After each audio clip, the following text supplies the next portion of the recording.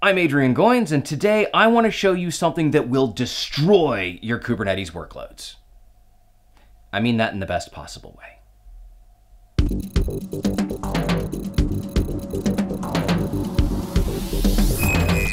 This is KubeInvaders.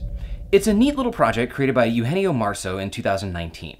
It's a Space Invaders style visual representation of chaos engineering for your Kubernetes cluster. I first learned about it from a blog article that he published on kubernetes.io last week, and I immediately deployed it in my K3S cluster to see it at work. If you're not familiar with chaos engineering, the idea is to randomly wreak havoc in an environment as a means to test its resilience. For us, that means that it will randomly kill pods, which Kubernetes will restart, and we want to use this to test that our application can handle the unexpected. A key component of chaos theory is the concept of entropy. Entropy is the state of decay in a closed system. Nothing is stagnant. With no influx of new energy, everything will slowly decay, whether it's an organism, a building, a computer, or a piece of software. Chaos engineering allows us to accelerate that process, and what better way to do it than by sitting back and watching a little spaceship pew pew pew our little pods, huh? You might be asking, hey Adrian, why are you making a video about something from 2019? That's an excellent question, and I'm doing it for one, two, three, three reasons. First, I'm doing it because it's a cool project and I want to share it with more people. This sort of creativity deserves to be celebrated.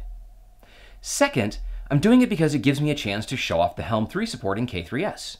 And finally, I'm doing it because if you're not using Helm, the instructions in the KubeInvaders repo for using Kubernetes manifests needed some love. I rewrote that section to work with Kustomize, and I brought them current with the Helm manifests. I'll open an issue and I'll submit a PR, but this video will show you how to install KubeInvaders from my fork into your clusters today. If you have the repo for this channel checked out, run git pull to refresh it with the content for today's episode. I've added the KubeInvaders content as a submodule, so run git submodule update to check out the code. If you don't have the channel repo checked out, you can find a link for it in the description. Now, we'll need an application that we can attack. If you don't have one of those, just look in resources slash common for the Rancher demo application that I use. It also uses Kustomize, so edit configs slash sourcevars.yaml and then install it with kubectl apply dash k base. If you don't see the demo in the repo, be sure that you've run git pull and then git submodule update to refresh everything, or just check out the repo externally directly from GitHub. I'll put a link for it in the description as well. Once that's up and running, change into the resources slash e22 slash kubeinvaders directory, and let's dive in.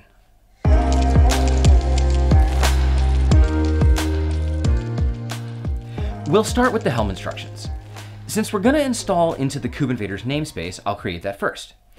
The values.yaml file contains a number of variables that we can override, and right away we want to override the route host variable, setting it to whatever we'll be using for our ingress. In my case, that's kubeinvaders.cl.minoc.us. Set yours to any value, even if you'll just be putting it into Etsy hosts. There are other variables at the bottom that you can use to adjust how the alien pods behave, but we'll just leave those at the default. The last variable that we need to override is the target namespace variable. This points to the namespace where our workloads are running. You can provide multiple namespaces by making this a comma-separated string enclosed in quotes. K3S has included support for Helm 3 since the 1.17.0 release. This means no more tiller, so no more headaches with root level account permissions. It does slightly change the install command, so instead of dash dash name, we provide the name after helm install. Right away, we see something strange.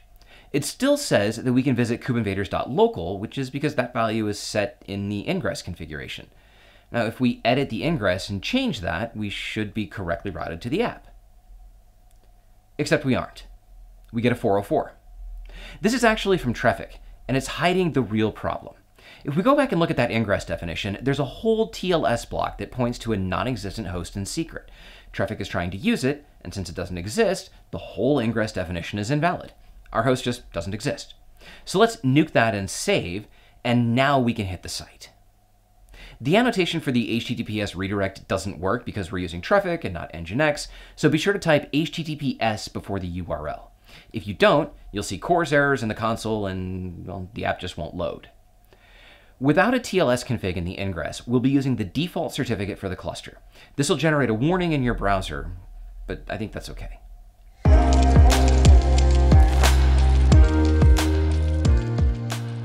Not everyone is using K3S. Not everyone is using Helm 3. In fact, there are a lot of people who don't use Helm at all. So when I thought about how to make this video, I looked at the Kubernetes manifests because I figured, well, they'll work everywhere. So at the time of this video, they're different from the Helm templates, namely around the service account and role. The manifests use a role and a role binding, which requires cross namespace permissions. It also handles the service account token differently. The Helm templates use a cluster role and cluster role binding, and they reference the service account token secret directly by name. So armed with that information, I created customized templates for Invaders and set them up so that you only have to set variables in one location. Actually, two locations before installing it. So let's have a look. First, if you installed via Helm above, delete the release and the Kube Invaders namespace. That'll give us a clean slate. In the Kubernetes folder, you'll find a README on how to do everything that we're about to do, and you'll find the base folder that contains the manifests. Edit sourcevars.yaml and set the variables in the data section. Kustomize can pull values from one resource and use them in another resource, so these variables will be available for all of the other manifests to reference. My namespace is where Invaders will be installed. Target namespace is where Invaders will look for the pods to kill. So just like before, this can have multiple namespaces if you separate them with a comma. Route host is the host name for the ingress. Kustomize requires that the kustomization.yaml file have a namespace declaration. So you also have to set the namespace in there. That's the second place that I told you about, and there's really nothing we can do about it. Now, if you run kubectl apply-k base, it'll deploy everything for you. So how does this work? In the kustomization.yaml file is a key called vars. Within it is a list that basically says, go to this resource, extract that field, and make it available as this variable. The config map for the environment variables that the app uses pulls its data from config.txt. And finally, for the top level resources like namespace and cluster role binding, there's an extra configuration file in kustomize-config.yaml that tells Kustomize to do substitutions within paths in those files. These variables are used all over, like you see here in the deployment. Kustomize enforces things like the namespace value for all resources, but when we need to specify something further down in the manifest, we can just use the variables. The last thing that makes this work is the token. When the service account is created, Kubernetes creates a token for it, but that token has a unique name that we can't know before it's created. Fortunately for us, we can create another token for the same service account with a name that we do know. Kubernetes will let us use that token in our pod to access the API with the permissions that we gave it in the cluster role. Kubernetes is easy, right? Now, let's save the cluster from aliens. Pew, pew, pew, pew, pew, pew, pew, pew, pew, pew. it's actually a lot slower than that. It's more like pew, pew. But how much fun is it to say that? Hmm?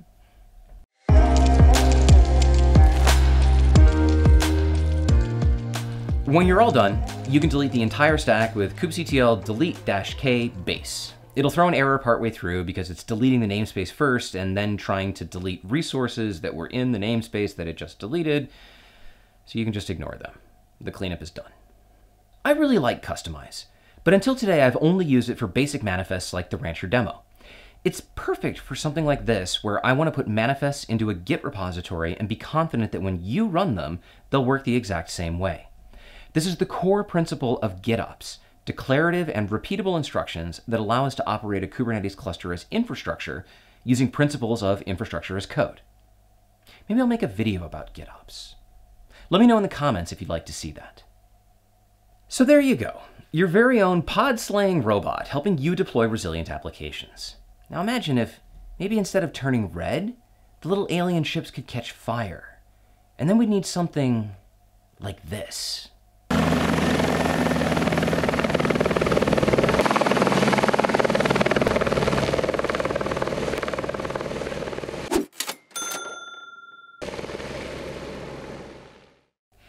If you like this video, please give it a thumbs up.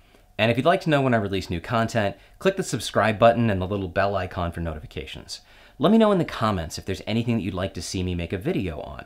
I have a running list of content ideas, and I always prefer to make the content that people are asking for. Thanks so much for watching. I'll see you in the next video.